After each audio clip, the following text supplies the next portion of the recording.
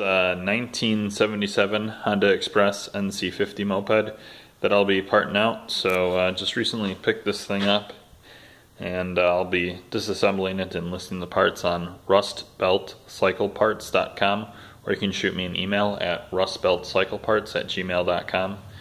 And uh, this thing actually looks pretty decent. Um, it's got the original Honda accessories, the, the rear uh, luggage racks, carriers, so those are kind of hard to find. It's got the front one as well. You can see the headlight actually isn't all busted up. Normally those are pretty well smashed up, but now, granted, some put it in the front basket, but um, the controls look decent.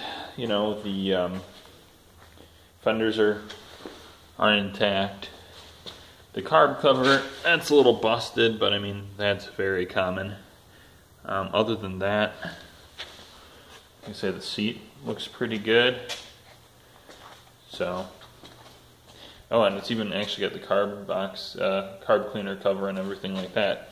So normally those are gone as well. So overall, pretty decent condition. Like I say, just uh, send me a list of parts you're interested in, and I'll send you back a list of uh, asking prices and uh, pictures of the parts you're interested in. You can shoot me an email at rustbeltcycleparts at gmail.com or you can visit rustbeltcycleparts.com. All right, thanks.